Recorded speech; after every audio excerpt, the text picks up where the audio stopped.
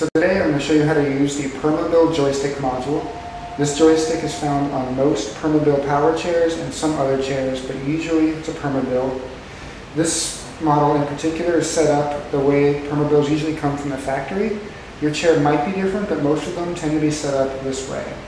So we're going to start by turning the power on using this lever on the left. We're going to flip it up, and you can see the power turn on, our screen lights up, and we're ready to drive the chair. To turn the chair off, you do the opposite. You push the lever down for off. So for the purposes of this video, we're going to want the joystick on. So let's talk about the display first. So up top, we have our battery power indicator. We've got red, yellow, and what should be green lights. And these drain as your battery drains. So as you can see, we're at about 75% battery life currently.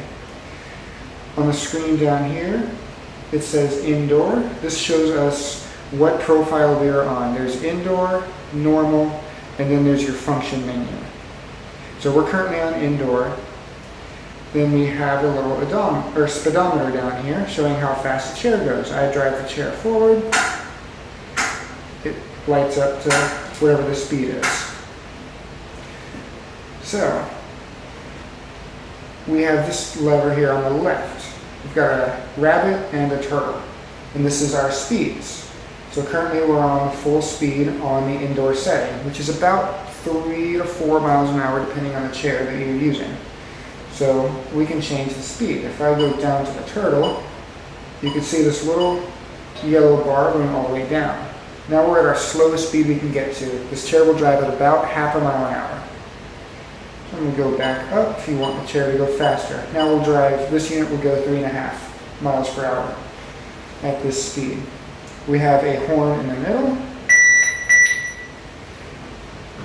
Now let's talk about these buttons on the outside. So these are our lights. Not every Permobil comes with a lighting package. This one does. So we have our turn signals. We have a right turn signal and a left turn signal. We have hazard lights and just our regular headlights and rear lights. So now to switch profiles, we're on indoor now. What if we wanted to go to outdoor? So the same way we turn the chair on, we're going to flip this lever up, and now it says normal number two. Now this chair will operate at about six and a half to seven miles an hour. Some units go faster, some slower, but this one in particular goes six and a half at full speed. Just like the indoor setting, we can lower the speed down to half a mile an hour again. All the lights work the exact same on this profile. So now what if we want to use our functions in the chair? We could use the switch box down here, but not every chair comes equipped with that. So we can operate the functions through the joystick. So I flip up again to change profiles. Now we're in our function menu. You can see a picture of the chair with a portion highlighted in yellow. Whatever is highlighted in yellow is the function we're going to use. So currently, this chair has seat lift, tilt, recline, and legs. It is fully loaded. So right now the seat is highlighted. This would be seat lift. In order to engage the seat lift, I would push the joystick either forward or backwards. Now to change functions, using our joystick, we can push it left or right to cycle through the functions. So I'm going to go right, and now the back is highlighted in yellow. This would be our recline. If I wanted to use the recline, again, I would push either forward or back. And I can keep cycling through. We have our tilt. This tilts the entire chair back. And our legs. We have electronic legs on this unit in particular. The legs will go up and down. So we can cycle through. Now, I'm going to go up back to the normal driving settings.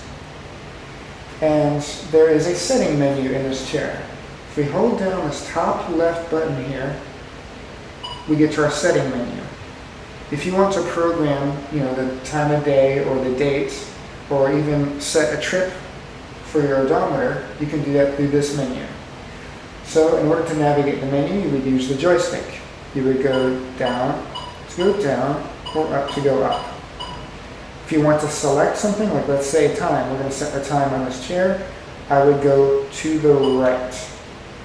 And now you see I can set time, display time, or exit. So if I want to set time, I'll go to the right again. And I can set year, month, day, day of the week, whatever, what have you.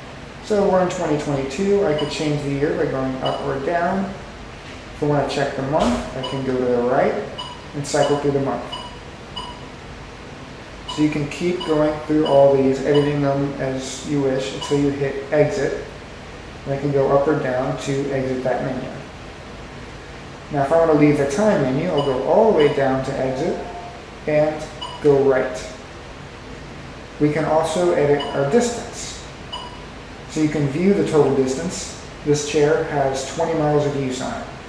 You can also set a trip. The trip is 19.3 miles you can change the display distance to be total or trip.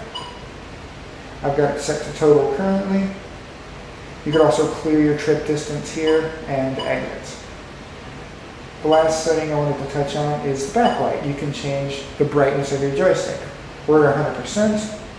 If I start going left, you see the joystick get dimmer. To the right, it'll be brighter.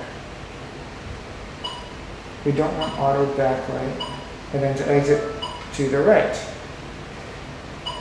These joysticks also can connect with Bluetooth. Sometimes they can be used as a remote control on the TV. I am not covering that in this video. I just wanted to show basic um, functions of this chair and how to use this joystick. Hi, I'm Marc. And my name is Alex. We're co-owners of Marc's Mobility. I started this company in 1995. We sell many products, not just what you see in this video. If you have any questions or concerns, please call us at the number below at 800-677-6293. Thank you and have a wonderful day.